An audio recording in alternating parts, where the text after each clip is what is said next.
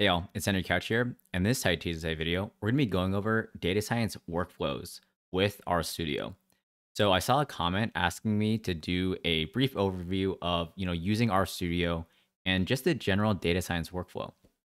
And I think it's actually kind of a, a common question when you're working with RStudio and doing R programming is like, how do we actually organize our files?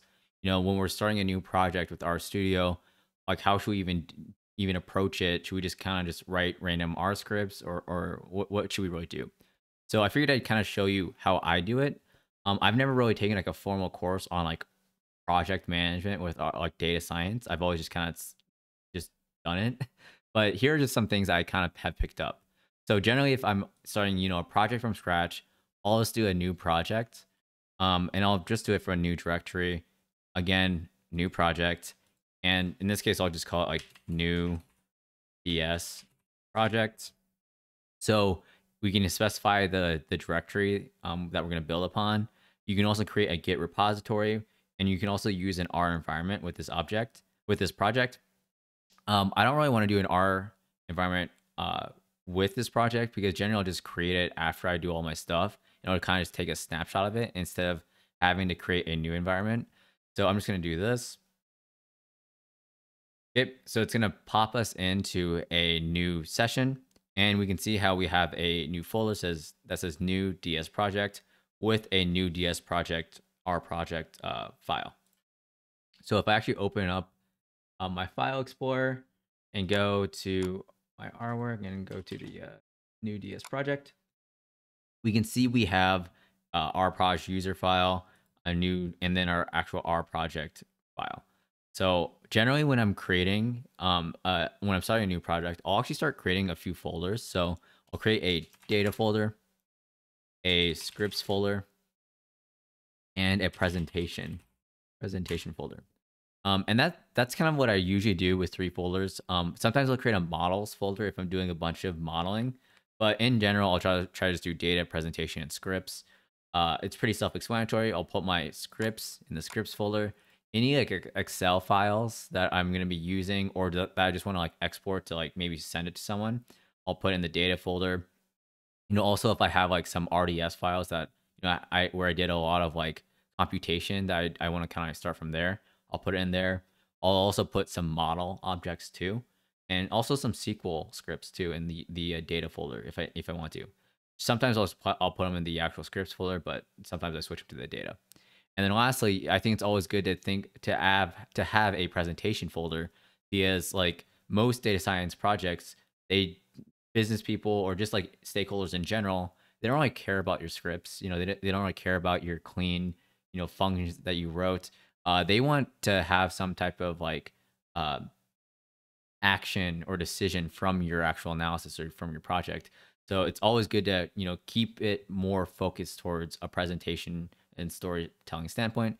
So I always have a presentation folder where I put like rendered markdown documents as like reports I want to like walk through people, uh, do a walkthrough with people. You know, I'll, I'll write some PowerPoints, uh, I'll export some plots um, to put into my PowerPoints and stuff like that. So generally I'll create three folders.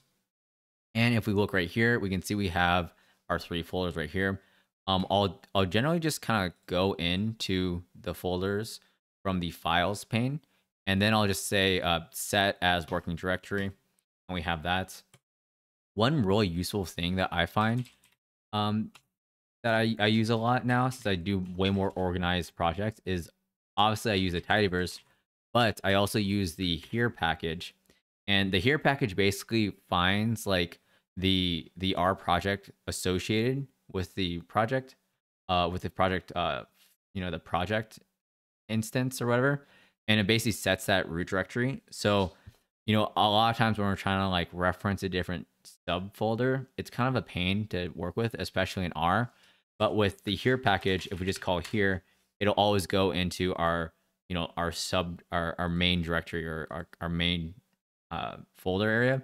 And then what we can do is like load it in from uh, using like, so if we're going to like read into data frame, so it's like read.csv, we just call here and then we can also say like data dash like uh, iris.csv.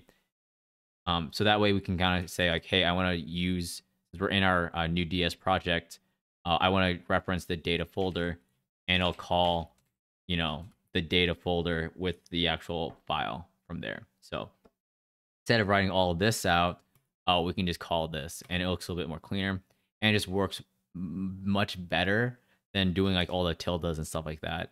Um, with the you know with all that like um file notation stuff that gets a little complex.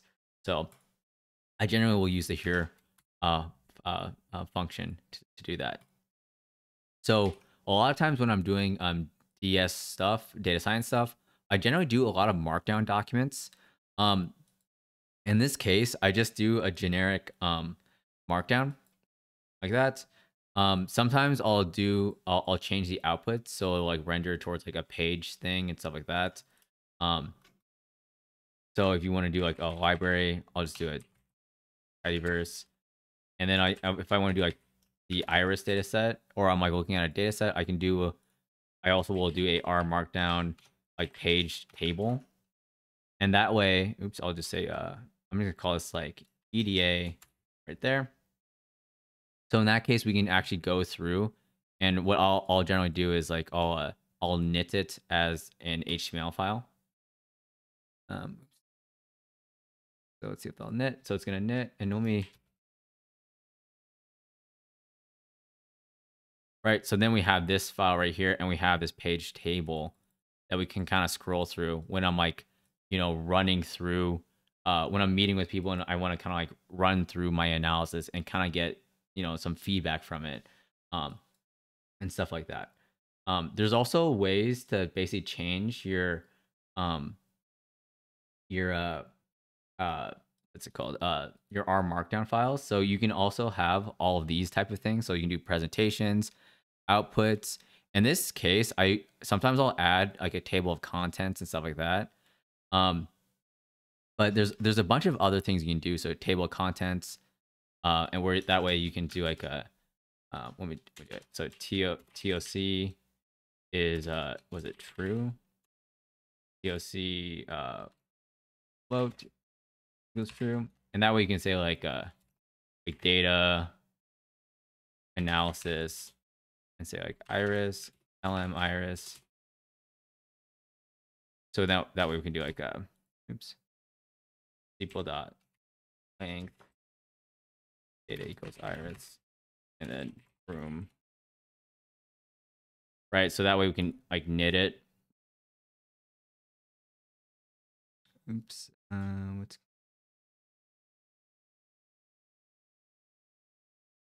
DOC HTML document.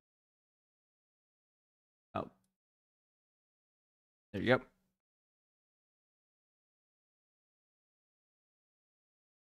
Oh, what that? but um, yeah. So it's, sometimes let me. What's what's going on? Output HTML document. Um, what maybe? Oh,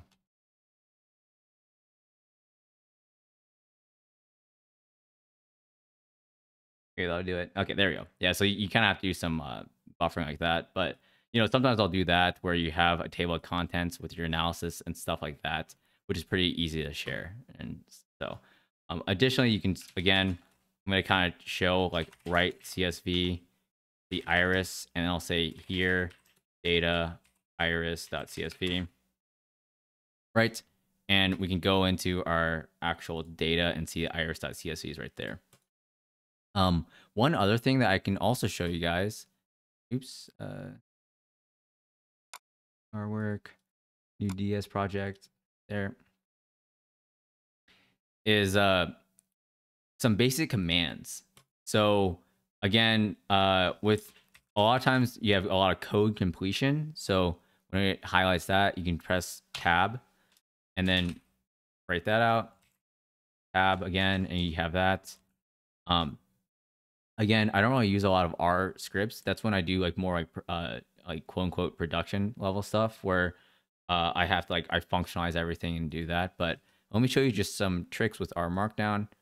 Um, so one trick with creating the actual code chunks is Control Alt I, and that'll basically put that. Um, you type in the tidyverse And you know, if you press Control Enter, it'll do it'll run that that line.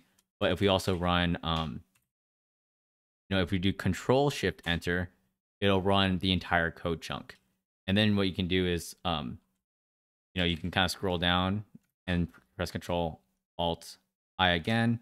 If you do Control Alt I in it, it'll exit out and make another code chunk like that. So additionally, what we can do is, you know, if we have a spot that we want to go to or just run the entire script, uh, you can just run like all chunks below, all chunks above, stuff like that. There's a few things too that are pretty useful with R Markdown is that you can actually change the language of the um, of, of the code um, throughout the actual document. So, you know, if I want to write a SQL query, I can write this as SQL, and then I can do my select star from like table, right? And that'll return a thousand rows from the actual SQL query just as a preview. And then what you can also do is output dot var is equal to, you know, df. Um, one thing you have to do is specify the connection. So connection equals con con in this case, we don't actually have a specific connection, so it's something where, um, you know, uh, oops, I think it's, um, so it's something where you, you kind of have to, um, you know, actually explicitly say your your um, SQL connection through like DB the DBI or ODBC package. Um, so those are just some quick things. Um, again, with pipes, um, Control Shift M to make your mag like magrittr or magis magrittr or yeah, yeah the magrittr or I don't magrittr um package where you just do Control Shift M and that'll just kind of um type it out for you um with a space so you can easily type in like iris um select you know species and and do that um to get out of like when you call a function to like select uh, species, right? Obviously, you can do the tab, and then to get out of those parentheses, you can just press you know the right parentheses, and you get out of it. Control Shift M. You you do a pipe, enter, type it again, um, what you want to do, and stuff like that. So that's a, that's a pretty quick thing. Just some helpful things we can look at uh, when we're doing our our uh, our our coding. You can also look at the environment stuff. So in this case, we can have our files. If we want to like import a file, um, and kind of do a more like uh, uh, uh user interface, we can just do like import the file. We can name it. We have all these little default configurations, and you can import it right like that. Um, but it again, I wouldn't do it like that. I would, if if anything, I would probably just copy this stuff right? Which I believe you, you can copy like that and then paste it. So that way, you know, if someone were to look at your R Markdown document, they would actually know where you're getting that file, you know, what that file is actually called, stuff like that. Um, let's see, what else can we do? There are a few things that I've been using a little bit more. So right now I've been doing a some package development just for like internal use. Um, a lot of times, what we wanted, what I want need to do is basically reference the functions that I'm writing. So a common thing that I've been doing is doing the control dot or control period, and this is the go-to file or function. So I can do like iris.csv and kind of go to that file, or like if I want to do like go to my EDA R Markdown, I can go there and it'll kind of uh, put me into that area. Okay. Here, out there. Okay. Um, another thing I guess is is somewhat useful. Actually, let me pull up a R Markdown document. Um, R Markdown is uh sometimes we want to look at a bunch of plots or a plot that doesn't really fit in our uh,